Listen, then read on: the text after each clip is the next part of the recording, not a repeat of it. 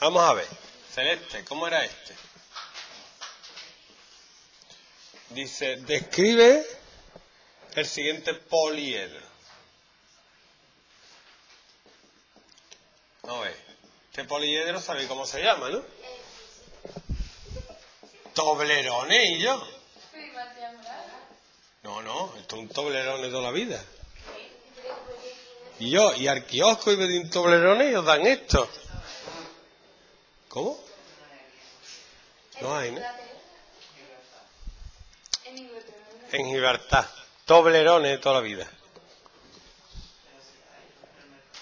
Supongo.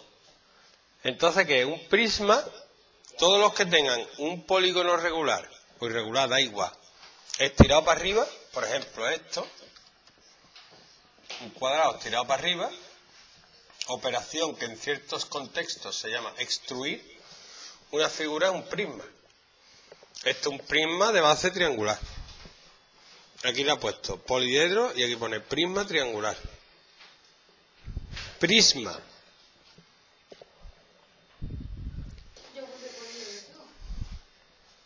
No. Prisma. Todo lo que sea estirar algo para arriba es un prisma. Y luego dice que tiene seis vértices. ¿Cuántos vértices tiene esto? ¿Qué dice? Vértices. Así, tiene seis. Uno, dos, tres, cuatro, cinco, seis. Tiene seis vértices.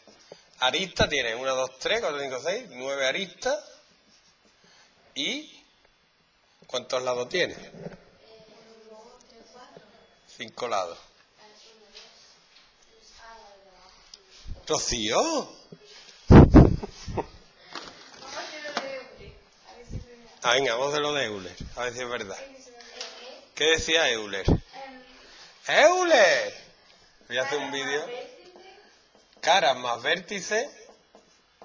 Igual a arista más 2. Arista más 2. Vamos a ver. Cara. No tiene cara. Yo he puesto lado. 5 caras.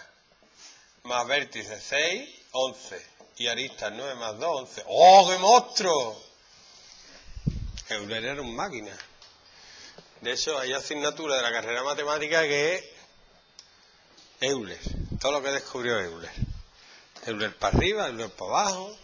Con quién se casó Euler, que descubrió Euler. ¿Por qué se aburría tanto Euler?